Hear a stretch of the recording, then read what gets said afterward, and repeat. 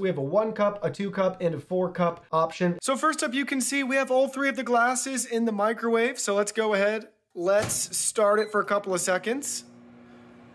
You can see the microwave's operating just fine. No issues with them being in the microwave. So far, so good. As you would expect, since these are microwave safe.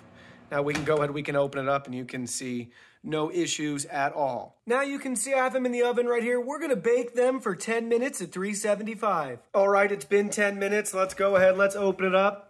There we go. They're fine. Nothing has changed at all whatsoever with them being used in the oven.